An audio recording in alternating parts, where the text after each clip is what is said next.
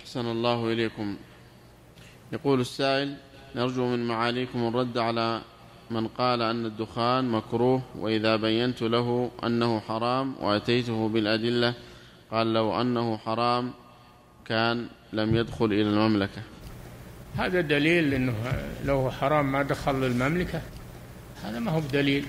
دليل من الشرع ما هو من دليل من الكتاب والسنة. هذا الدليل. أما دخوله المملكة أو عدم دخول هذا ليس بدليل. الدخان اسأله قل هل هو من الطيبات ولا من الخبائث؟ اسأله. فإن قال من الطيبات كذب ليس من الطيبات. وإن قال من الخبائث قل الخبائث حرام. الله جل وعلا قال في وصف نبيه عليه الصلاة والسلام ويحل لهم الطيبات ويحرم عليهم الخبائث. فكل خبيث فهو حرام. كل خبيث فهو حرام. وكل طيب فهو مباح.